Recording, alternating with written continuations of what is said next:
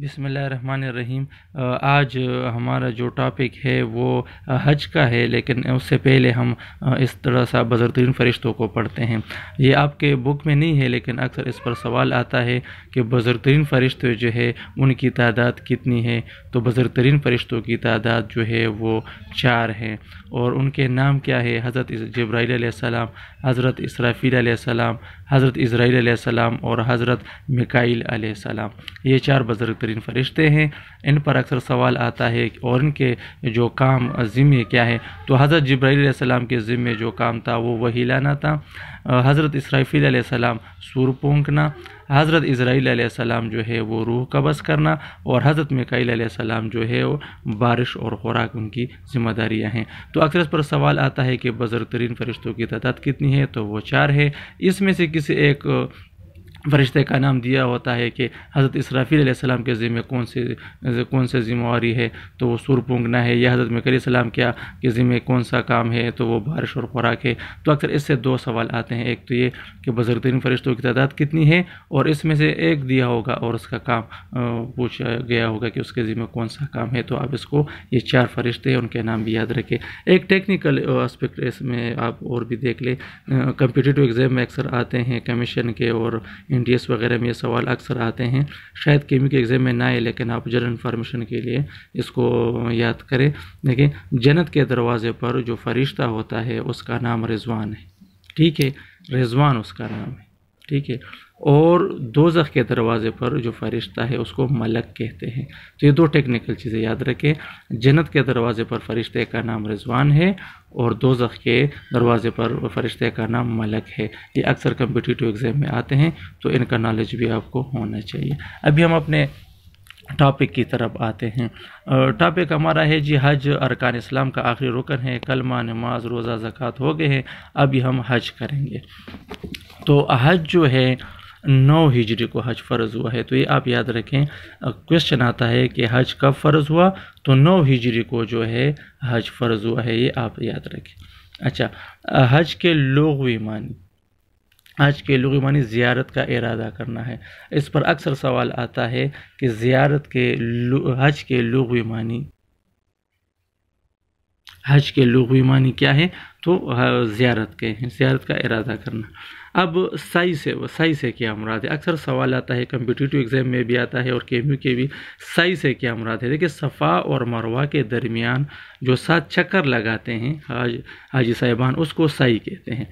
सही से मुराद सफ़ा मरवा के सात चक्कर को सही कहते हैं। ठीक है, अक्सर सवाल आता है कि सफ़ा और मरवा के दरमियान सात चक्कर को क्या कहते हैं? तो सही कहते हैं। ये अक्सर सवाल ये आता है कि सही से क्या मुराद है? तो नीचे ऑप्शन में सफ़ा मरवा को आपने क्लिक करना है कि सफ़ा मरवा के दरमियान सात चक्कर को सही कहते हैं। अब शयातीन को कंक्रिया मारना क्या कहलाता है? रमी कहलाता है, रमी। ठीक है तो अब सवाल अक्सर ये आता है कि रमी से क्या मुराद है? तो शयातीन को कंकरियाँ मारना रमी कहलाता है। या अक्सर कहते हैं कि शयातीन को कंकरियाँ मारना क्या कहलाता है तो वो रमी कहलाता है। तो ये दो सवाल आप याद रखें। कम्पिटिटिव एग्ज़ाम में काफ़ी आए हैं और केमी के एग्ज़ाम में भी आए हैं कि सही से क्या मुराद है और रमी से क्या मुराद है। और इस्तेलाम जो है, हजर असद का बोसा लेना, उसको चूमना जो है, वो इस्तेलाम कहलाता है। तो ये तीनों क्वेश्चन आते हैं। एग्ज़ाम में आते हैं के के भी और कंप्यूटर एग्ज़ाम में भी इस्लामियात के अक्सर सवाल में से इस्तेलाम, रमी और सही के जो है ना सवाल आते हैं। और हज कब फ़र्ज़ हुआ नौ हिजरी को तो ये अक्सर ये सवाल आते हैं। आपके एग्ज़ाम में भी अक्सर इनसे सवाल आते हैं कि हज के लुगी मानी क्या है? हज कब फ़र्ज़ हुआ सही से क्या मुराद है? रमी किसे कहते हैं और इस्तेलाम से क्या मुराद है? अब इसमें चंद टेक्निकल चीज़ें और पढ़ देखिए औरत का एहराम जो है तीन कपड़ों पर मुश्तमिल होता है, ठीक है, ये आप याद रखें। और अक्सर इससे सवाल कम्पिटिटिव एग्ज़ाम में कई दफ़ा आया है और एग्ज़ाम से क्वेश्चन आते हैं कि औरत का एहराम कितने कपड़ों पर मुश्तमिल है तो वो तीन कपड़े हैं, ठीक है? मर्द का एहराम जो है वो दो कपड़ों पर मुश्तमिल है। ये आप याद रखें। अक्सर सवाल आता है कि मर्द का एहराम कितने कपड़ों पर मुश्तमिल होता है? ऑप्शन होते हैं तीन, चार, दो तो आपने ये टिक करने या और पर इस तरह। अब इसमें एक और चीज़ है। अब कफन की तरफ़ आते हैं। मर्द का जो कफन होता है वो तीन कपड़ों पर मुश्तमिल होता है, जबकि औरत का कफन जो है वो पाँच कपड़ों पर मुश्तमिल होता है।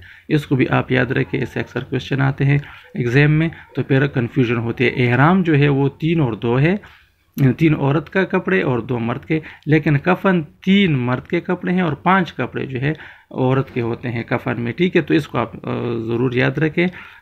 एहराम और कफन में आप लोग कंफ्यूज ना हो जाएँ, ठीक है? एहराम दो और तीन है और इस तरह कफन जो है वो तीन और पाँच, ठीक है? अब देखिए, हज़रत मोहम्मद वसल्लम ने एक हज अदा किया है और चार उम्र अदा की हैं। तो ये भी आप याद रखें कि हज़रत मोहम्मद वसल्लम ने अपनी ज़िंदगी में एक हज किया है, अदा किया है और चार उम्र अदा किए हैं। ठीक है? ये अक्सर कम्पिटिटिव एग्ज़ाम में आते हैं और के के एग्ज़ाम में भी आते हैं कि हज़रत मोहम्मद वसल्लम ने कितने हज अदा किए हैं।